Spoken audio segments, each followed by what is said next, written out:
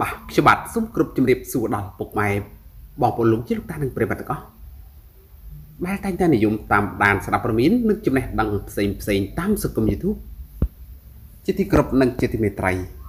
ក្នុងគណៈពេលនេះដែរខ្ញុំបាទមានអត្ថបទព័ត៌មានមួយដែលមានចំណុចជើងថាណានណានជាប់ទៅវគ្គបន្តក្នុងកម្មវិធី Miss Teen International ខេបឌី2023ស្រីអ៊ីតនិងភ្លាមបង្ហាញអារម្មណ៍ថា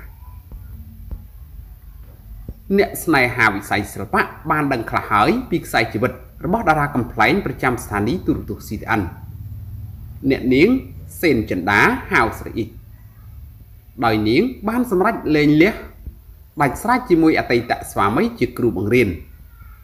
បន្សល់ទុកកូនស្រីម្នាក់ក្នុងបន្ទុកនោះក្រោយពីលែងលះជាមួយស្វាមី និងអោបកសោបយកកូនស្រីបណូលចិត្តមកចិញ្ចឹមបីបាច់ ថែទាំយ៉ាងយកចិត្តទុកដាក់តែម្នាក់ឯងអស់រយៈពេលច្រើនឆ្នាំនោះពេលនេះ កូនស្រីបណ្ដូលចិត្តរបស់ស្រីអ៊ីតឈ្មោះថាងាស្រីណាន កំពុងទទួលការទំនុកបំរុងនិងត្រួសត្រាយផ្លូវបានយ៉ាងល្អប្រសើរពីសំណាក់អ្នកម្ដាយជាទីស្រឡាញ់លើវិថីសិល្បៈ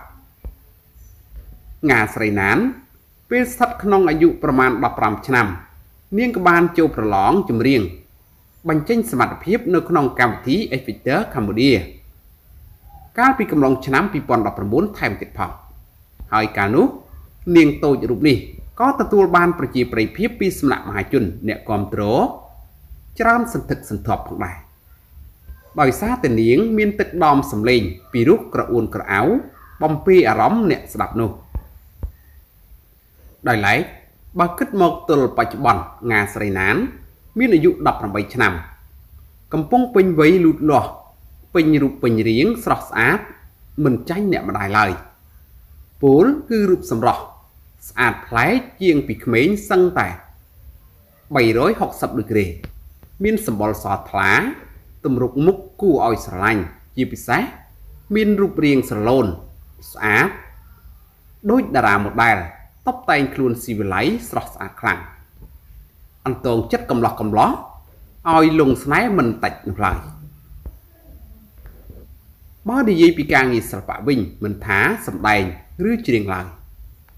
ស្រីស្អាតមានរូបឆោមស្រស់បែបធម្មជាតិងាស្រីណានតែងតែធ្វើបានយ៉ាងល្អហើយរមែងទទួលបានការគ្រប់គ្រងនិងកោតសរសើរមិនដាច់ពីមាត់មហាជន ដែលធ្វើឲ្យកេរ្តិ៍ឈ្មោះ និងប្រជាប្រិយភាពរបស់នាងល្បីសុខសាយមិនចាញ់ម្ដាយនោះឡើយ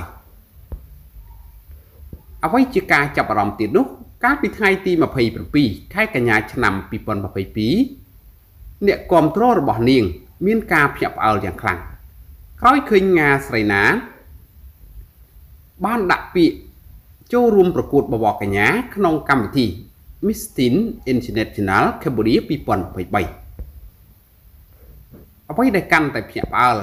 និងសប្បាយចិត្តជំនួសនាងថែមទៀតនោះដោយពេលនេះនាងបានជាប់ឈានទៅវគ្គបន្តហើយស្រីអ៊ីតបានបង្ហោះរូបថតកូនស្រីជាច្រើនស្លឹកនៅថ្ងៃទី5ខែវិច្ឆិកានេះហើយបង្ហាញអារម្មណ៍ដូចនេះថាថ្ងៃនេះម៉ាក់ពិតជាសប្បាយចិត្តណាស់ឃើញកូនស្រីម៉ាក់ជាប់ទៅវគ្គបន្តហើយនាងខ្ញុំសូមអរគុណដល់ពុកម៉ែ បងប្អូនកូនក្មួយទាំងអស់ដែលស្រឡាញ់និងគាំទ្រកូនស្រីនាងខ្ញុំណានណានអរគុណដល់ពុកម៉ែលោកតាធំនិងមេមេជេជេបងបងពិតជាអរគុណណាស់ណានណានបានបញ្ជាក់ថា ការคลายជាបវរកញ្ញាតំណាងប្រទេស ជាក្តីស្រមៃរបស់នាងតាំងពីតូចតែគ្មានឱកាសក្នុងការបង្ហាញនាងចាត់ទុកកម្មវិធីបវរកញ្ញាមួយនេះ ជាឱកាសមួយដ៏ល្អដែលអាចសម្រេចក្តីស្រមៃរបស់នាង បាទហើយអត្ថបទព័ត៌មានដែលខ្ញុំបាទបានជម្រាបជូនខាងលើនេះក៏មានតែប៉ុណ្ណឹងសូមអរគុណសូមជម្រាបលា